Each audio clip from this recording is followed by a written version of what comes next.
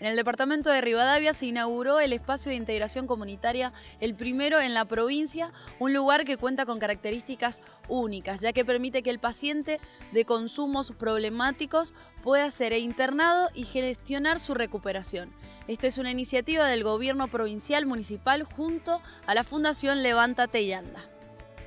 Todos sabemos que se ha roto el tejido social,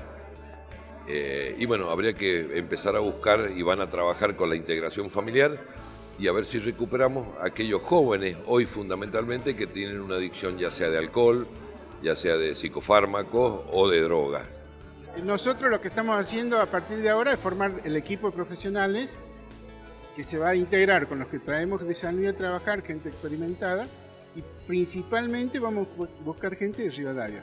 ya sean profesionales, operadores terapéuticos, eh, bueno, en general todo lo que integran el equipo terapéutico de trabajo. ¿no? Hace de alguna manera que pongamos en evidencia la preocupación que tiene el gobierno y el Ministerio de Salud por el consumo problemático. Creo que eh, es un paso importante, creo que venimos trabajando profundamente en todos los, los CPA nuestros, pero eh, indudablemente que el último eslabón que termina siendo la internación, termina siendo un elemento necesario cuando el resto de las armas no han concluido adecuadamente para poder integrarlo nuevamente a la sociedad. Por lo tanto, estas comunidades tienen que ver fundamentalmente con la integración, con,